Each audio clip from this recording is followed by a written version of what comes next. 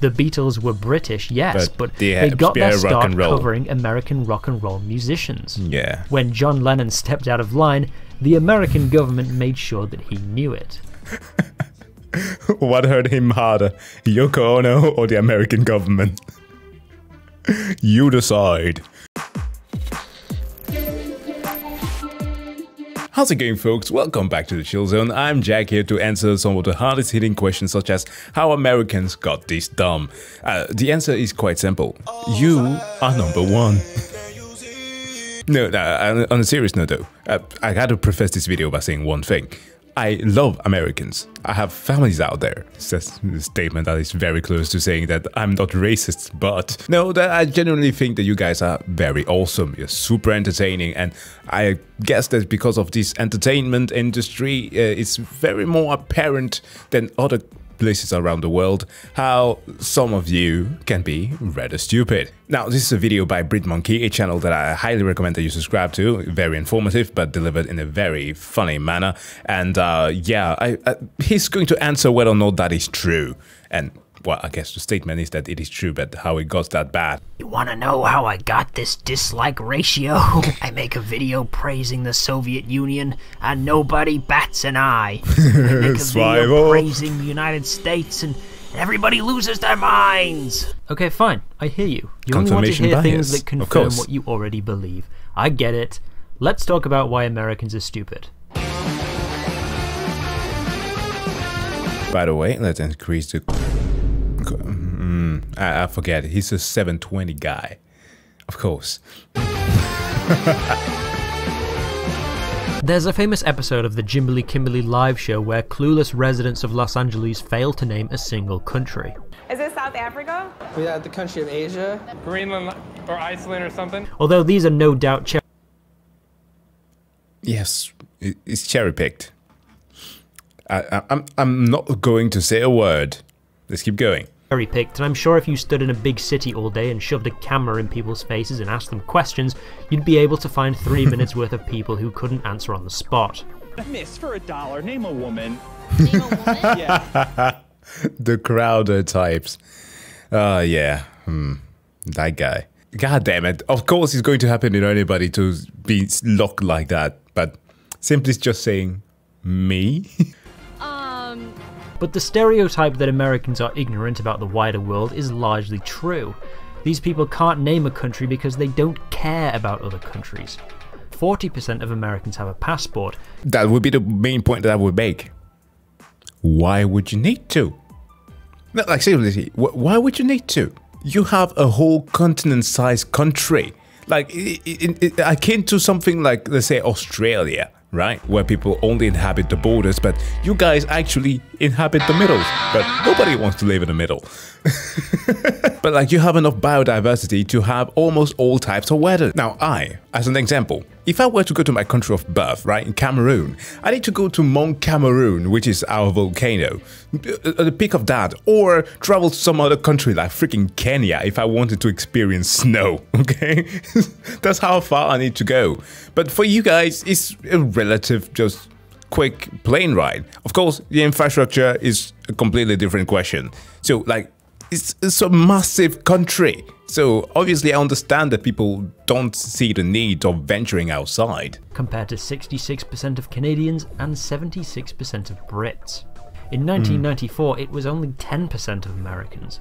But that doesn't mean Americans have gotten more globe-trotting since then. No. It was because after an Americans. of the news, it became mandatory to need a passport when entering Canada and Mexico. Bruh. So it's fair to say that a very small percent of Americans will be leaving this corner of the world. As I said in a previous video, America has all you'd ever want geographically within her borders. Yep. Why go anywhere else? You don't have that train infrastructure, though. I'm only making fun of that because, like, i i the, the result of such thing end up being like some billionaire high on his own bullshit making a boring tunnel where cars are getting stuck in. The foreign cultures, maybe?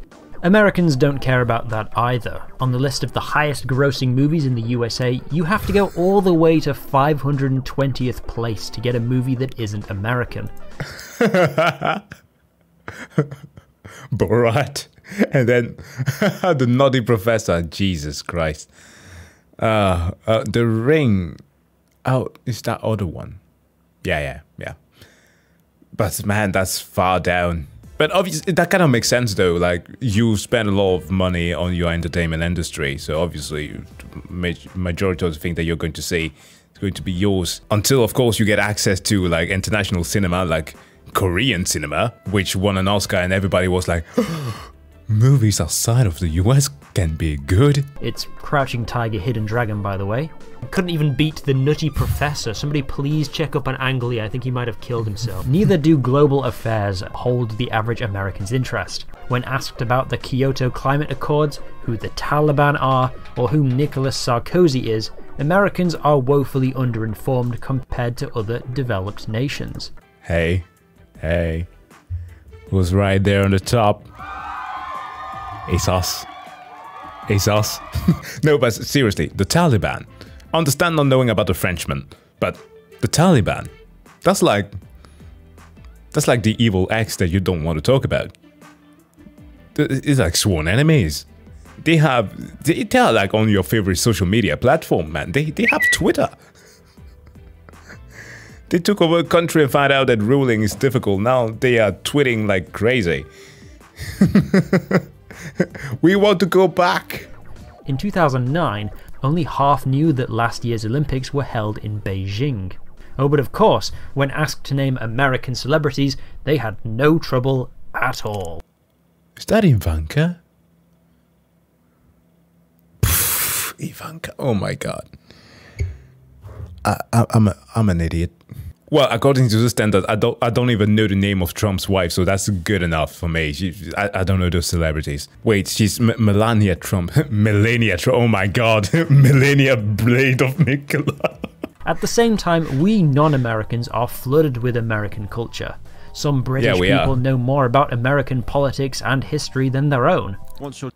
That's basically, yeah. Well, okay. I wanted to make a comparison to how colonialism has affected some countries. Like I know more about the rest of the world than I actually know about my own culture. So yeah, Or dropped into the trench, depth or the z-axis is It's Z. Z-axis, you floppy-haired moron. France had to pass laws banning radio stations from playing too much American music. whoa. There are only two countries Didn't in the know that. world where Coca-Cola is not sold. Wait, scratch that. This journalist from Finland bought a Coke at a water park in Pyongyang in 20... Wait a minute. Myth busting in North Korea. You can even buy Coca Cola here for the USA 1.5 per can at Munsu Water Park, bottled in Denmark. Hey. 2017. And what's this hiding in the background of somebody's holiday snaps at the National Hotel de Cuba? Look, hmm. you know something's up when remote tribesmen in the Amazon rainforest who don't even have electricity know who Michael Jackson is. I mean, it's the king of pop though. Americans used to be quite well read. After the Second World War, Americans consumed 63% of all the newspapers in the world, and they used this to their advantage. There was a good reason for that. And mind you, I know that I've been pausing like crazy right now, but uh, th- this might be an important thing for you to know, but perhaps you already know this, but I'm still going to go a little bit on the rant here. So, so in America's wonderful effort to continue spreading freedom of speech and uh, democracy all around the world, that is before even the Second World War, uh, initiatives were taken to maintain democracy's purity, making sure that uh, things didn't go awry. And the way that they knew that this could happen would be in contrast to what the big corporation could do. As they saw them gaining more power, people thought that, uh, well, perhaps they should be regulated more. And this, of course, also meant the news. Now, I'm not too sure if it was in the 40s or the, before the Second World War that they enacted the Fairness Act. But uh, let me actually see. No, it was in the 40s, 49. But before that was something called the Radio Act, and the Radio Act uh, kind of affected the transmission of the news. And it was so that the regulation were put on radio stations so that if they started to spread things that were kind of fringe topics, uh, and it was not in the interest of the people for the sovereignty, uh, they could lose the license, uh, so that they could no longer broadcast anything.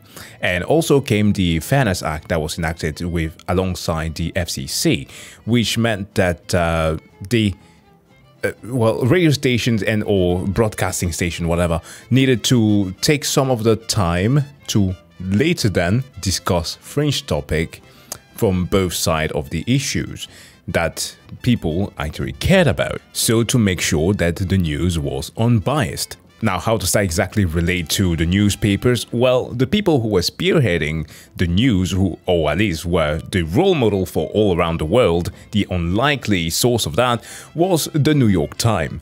Because I remember in school, we were once given like a course on how to uh, deduce whether or not you can find bias in text where the New York Times actually was one of the piece of material that we had to work with. And yes, I was surprised too, knowing how the American news is today, how unbiased it actually was. It was super neutral because the guiding star uh, was objectivity. They refused to add their own opinion, uh, used neutral language, refused to interpret words even, so that it could be taken out of context. All that to make sure that the news that was spread were accurate and objective and were the best one to be also shipped all around the world. Now, obviously, that did not last long because post World War we had something called the Red Scare. For all of you boys who have, um, or, or ladies who have gone out there to watch Oppenheimer, you will know the shit that happened to him, how he was called spy simply by saying that perhaps should nuke other people. Essentially, the Red Scare, or McCarthyism, as it is also called, was this tactic that was employed by McCarthy, uh, who insinuated that there was a communist revolt going on in the US and it should be stopped.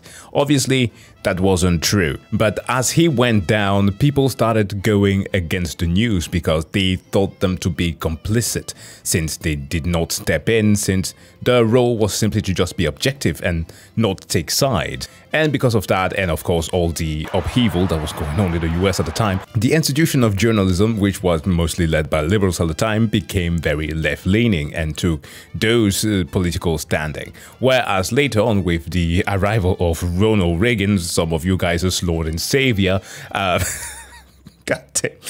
I'm sorry for saying that. Um, he wanted to make news more profitable and ended up then making the bias on the right wing side. For that very reason, then you started seeing a lot of bias in the US news. But essentially, the US used to be of the highest standard and promoted that freedom of expression, but still with a focus on objectivity. And that's why it was actually very well uh, acclaimed, critically acclaimed all around the world. In 1948, the newly formed United Nations created a list of human rights that all countries should strive to uphold. One area that Americans were particularly interested in was this one Article 19. Mm. Everyone has the right to freedom of expression and opinion, and receive and impart information and ideas through any media and regardless of frontiers. Yeah. What the USA wanted was a completely level playing field. Anyone can buy any media from any other country. A global free market of ideas, released sure. from the shackles of censorship. For if anyone can gain access to the truth, we cannot be marched into the same kind of ignorance and intolerance that characterized the Axis nations of the war. This yeah, that makes sense. The more educated you are on certain things, the more no knowledgeable you are, the more aware you are of whether or not the acts or deeds that you made were right, wrong, or moral or immoral. This is admirable. Freedom of speech is a core value of the United States and many other allied nations. But some delegates, like those from India, questioned the US's motives. If you believe in an equal access to information and culture, shouldn't you redistribute some of your media creating capacity to developing nations like ours so that we have an equal opportunity to tell the world our stories? No, no, you can't. You can't ask that of the U.S., man. They, they said free market of idea. And by that, it means that you should provide with your own news, buddy. If you can't do that, buy ours. That's what we mean by free. The Americans would not budge. Of course, they knew deep down that India was right. The American delegation to the convention was highly populated by journalists and media magnates. Hmm. They knew that if countries couldn't afford their own news, they would be increasingly reliant on buying news from American wire companies like the Associated Press, Yeah. which was good for both the media company's profits but also the US State Department, who would And that's the thing, because back, as I mentioned before, the, some of the big giants were so, talking about NBC, ABC, and who's the third one? That there were three major magnets. CBS, CBS was the last one. They were, at least the subsidiary, were non-profit in the beginning. So they did not make a profit from this, which of course later Reaganomics W- Wait, wait, wait. It, it is called R- Reaganomics. Oh my god. I, I'm sorry. Please somebody correct me if I'm saying this wrong. But uh, made it profitable. So it became an incentive to make a lot of money. So it was going to be pushed as hard as possible. would no doubt have been licking their lips at the prospect of a billion people reading news with a specific American spin on it. Yeah. In 1944, the Associated Press sold news to 38 countries. Hmm. Within eight years, that had doubled to 70 countries. In the 1950s, around half of films shown in European and Asian cinemas were American, two thirds in Mexico, Brazil, and Argentina. Which makes sense. Americans made grand Technicolor films brimming with Hollywood sparkle because they could afford to whereas war torn Europe, impoverished Mexico, and nuclear obliterated Japan were stuck making small scale comedies to keep up morale. Yeah, yeah. One of the most popular French movies in 40s France was 1949's The Big Day, a mostly plotless movie where a whimsical French postman gets into wacky mischief in a quaint village. There just wasn't the money or resources for anything else. Hollywood captured the European public's imagination, and they wanted more. yeah. But why is it only a one way street? Because while you can do or say whatever you want within the United States, the Constitution also says that the American government can regulate what goes in or out. During the Cold War, anything that might be considered communist propaganda could be seized by the post office and never delivered. Remember what happened to your boy Oppenheimer? Books or even souvenirs from communist countries, for example. Pamphlets criticizing US foreign policy. Immigration reached a low point in the early 70s, with only 4.7% of Americans being foreign born, limiting Americans' interaction with different cultures. Yeah. Obviously, it wasn't totally like North Korea. Plenty of foreign movies and music were allowed into the US. But the mm-hmm. media that caught on was either already Americanized or so plastically exotic that it doesn't really say anything about the culture where it's from. The Beatles were British, yes, But but, they uh, they got their start covering American rock and roll musicians. Yeah. When John Lennon stepped out of line, the American government made sure that he knew it. what hurt him harder, Yoko Ono or the American government? you decide. Movies imported from Japan were mostly samurai flicks, and very few movies set in the modern day. The film Ikiru is widely considered the best Japanese film ever made, if you ignore people who have never felt the touch of a woman. but this existential drama about a depressed, lonely man was only given a limited release in California, and the poster was edited to feature a stripper who is only in the movie for like one minute. Come on, come on, US, come on. You can't be serious. You have got to be kidding me. So, like, imagine this. My dad is a huge collector of Kurosawa films. Like, if you don't know Kurosawa, one of the greatest instructor of uh, samurai movies in Japan. And think about basically um, Ghost of Tsushima, the video game, but like in that filter in black and white. The, the feeling that you're getting from that. Basically, the stuff that he did. But imagine, I'm just imagining him wanting to show me part of his collection, and it's just covers of like strippers on it. Like, what the? F- The narrow stream of European movies that made it into the USA came in the form of the French New Wave cinema. Yeah. Movies that were stylistically inspired by American films, but also so stuffy that few audiences would ever want to watch them anyway. Qu'est-ce que ça peut te faire Ça ne va pas, non Non, rien. Je voulais dire cette phrase avec une idée précise. Je ne savais pas quelle était la meilleure façon d'exprimer cette idée. Ou plutôt, je le savais. yeah, it helped with the Maintenant, je ne sais melancholy. This was further stifled by the Hays Code, a set of extremely strict ah, regulations here that we were in go. place from 1934 to 1968.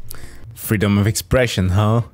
Yeah, the part where you don't even you, you aren't even allowed to kiss on screen. If you've ever wondered why old black and white films seem so dry, it's because of these rules.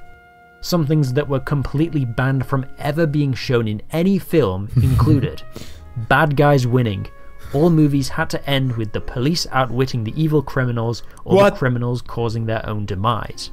Okay, I Any did not know. nudity, even the silhouette of a booba, is an instant ban. Blood or dead bodies. When people get shot in old films, they usually just clutch the wound, but no actual blood. Yeah, yeah, yeah. The, the detective noir. the thing that basically inspired the cyberpunk genre today, like had zero blood and gore. Like a tough nut cop that would go out of his way to like uh, deal with the bad guys in his own way and occasionally brutalize them.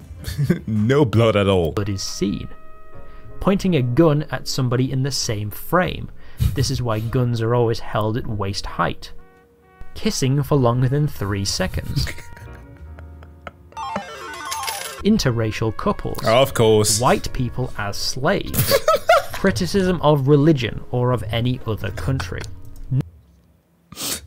Now that, yeah, okay. now,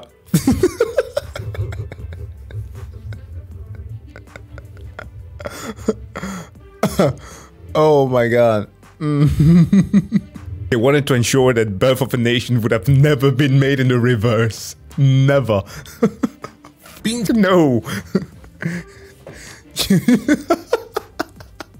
We don't want to show that to the audience. Are you crazy? but you, you want to know one thing that I found out recently? Is that although many people believe that in the Constitution there is actual separations of church and state, it isn't it isn't there.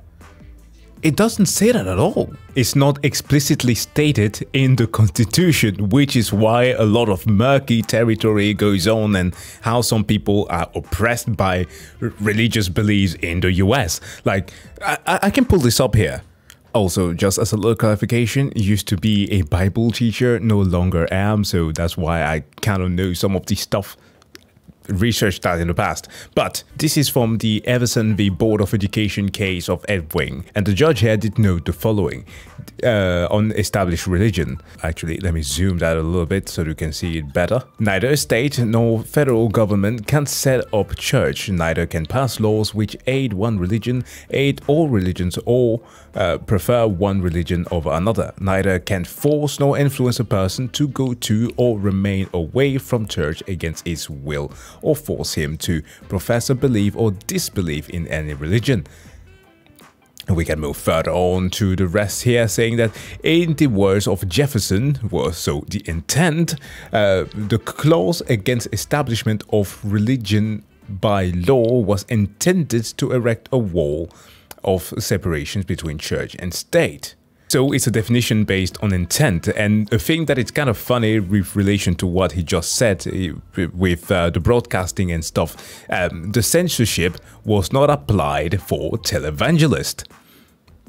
Uh, why? Naturally, this prevented the more artistically liberal European films from being shown in American cinemas, and when they did get a US release, they were usually edited to remove the mm-hmm. violence in movies and sex on TV to comply with the good old fashioned values. Upon which we used to At least rely. until the rules were abolished in 1968 and replaced by the age rating system we have today. oh yeah. Even as the Cold War ended and the internet gave Americans unparalleled access to the rest of the world and all of human knowledge, they still preferred to hang out on a handful of American made websites dominated by Americans. But of course, The insular culture of 20th century America has carried over to the Steam. 21st. Tightened border security after Septiembre Undécimo means foreign musicians can have a hard time getting visas. In 2002, the touring visa of a German orchestra was cancelled after it was discovered the cellist had a criminal record for shoplifting a pair of tweezers in 1991. When what? Yo. Come on, dude. you guys need to relax a little bit. It's just like TSA. TSA agents seem to think to themselves that they are freaking SWAT. Calm down. When they tried again for a visa in 2004, the cellist had to undergo an hour long interview with Homeland Security and had to physically pick up his visa from the US Embassy. Global cultures might be more present in American media, Last Samurai. but they're always through the lens of American characters. The most, the most Asian guy, Tom Cruise. such as The Last Samurai starring Tom Cruise, where he plays a white guy in 1870s Japan. Seven Years in Tibet, another American in China. Indiana Jones, American in Egypt. The Bourne Identity, American in France. Yep. Glorious Bastards, Americans in. German occupied France. And for the ladies in the audience, Mamma Mia. For a movie set on a Greek island, Not a there's single, not a single Greek, Greek person. person in the entire movie. They're currently doing like some uh, plays of it um, here in Denmark. So uh, yeah, it's been running in commercials. It's it makes me laugh every single time. Is there any hope for America, or are they destined to be a stinky, dumb redneck country forever? Wow, what a panel! Maybe. In 2000, 92% of the music in the USA Top 50 was American, making it the second most insulated market in the world after Pakistan. But today it's more like 60%. Okay. With Brits, Canadians, Latin Americans, and Africans making themselves more seen in the charts. Nice. Each year, there are more foreign films nominated at the Academy Awards than ever before. The internet. What used to be an American only pay to win award show is now an international pay to win award show. As social media platforms have an element of randomness in what they show users, there is a higher chance of Americans being shown videos from other countries, forcing them to take note of what is happening. yeah. It seems the revolution will be TikToked. it's funny. This one of the greatest things that the internet has provided us is this ability to communicate, while at the same time, one can argue that it allows some people to to get in involved in more fringe stuff and get isolated in certain communities, which is why this whole thing about banning people tends to be a huge problem uh, or, or, or deplatforming. Sorry, that's what I meant to say. Uh, tend to be like a murky territory because it then isolates people uh, in certain areas that only makes them worse. But at the same time, this ability that we get to communicate with one another, uh, different parts of the world, even with the guise of anonymity, allows us just to share to just showcase just how human we are, how equally hateful we are. It's it's like terrifying, but also beautiful, you know. And I, think that personally, that that that is more likely to open us up to have more knowledge and be smarter, to make better choices. But what do I know? I've been giving the impression throughout this video that it's all or most Americans who are terminally uneducated. But American ignorance isn't as evenly distributed as you'd think. That study I mentioned earlier, when adjusting for English proficiency, income, and education levels, Americans are really no different from their European counterparts, and in High income. You don't get to peer into the Danish wallets, buddy. That, that, that that's a no-no zone. some cases, marginally smarter. Knowledge about the wider world even correlates to political views, Yeah, and not obviously. in the way that you'd think. A 2022 survey asked Americans 12 questions about the world, such as who is the British Prime Minister? Sunak. What does the Indian flag look like? That. And what this symbol represents? Zero. The people who answered the most questions correctly were committed Democrats and committed Republicans. Obviously, people who are more in, politically engaged make sure to have their their fact straight. They they- have strong opinions. For that reason, they need to be more informed about a lot of things. Whereas the centrist, or as Disco Elysium calls it, uh, the moralist, is just going to go with the flow of their feelings, uh, like, like wanting to secure this ideal that they're chasing, but not necessarily diving deep into things. Yeah, very surface level. Swing voters, those enlightened centrist chads, were the stupidest. Only 40% of moderate Republicans could name the US Secretary of State. I wouldn't know that. compared to 60% of convicted Republicans. Only half of moderate Democrats knew that the USMCA trade agreement replaced NAFTA, compared to 66% of convicted Democrats. Also, I just thought it was funny that the more Americans know about the European Union, the more favourable view they have of it. Mm-hmm. so, are Americans ignorant? Many of them are, but it isn't their fault. It's a mix of geography, American imperialism, Cold War paranoia, moral puritanism, and economic factors that create a paradoxical nation that is both the most expansive empire but also an informational prison of their own making. God bless you, stupid bastards.